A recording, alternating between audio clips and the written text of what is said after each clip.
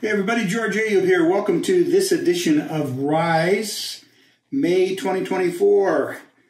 It's graduation season, and we have two pieces on graduation. One from Carrie Hooker Leap, our executive director at the Grand Island Public Schools Foundation. She wonders what these graduating seniors, what their legacies will be, what would they will leave for a legacy. And our intrepid correspondent from Grand Island Senior High, Avery Rogers, she actually asked some seniors what graduation means to them. Mike Monk tells us what it's like to be the owner of a Major League Baseball team. Bianca Ayala catches us up at the Gates Fun Fair. And our at the top story is Grand Island Senior High is now a cell phone free zone. There's more in in memoriam and milestones. Enjoy this issue of Rise Islanders and keep pushing on.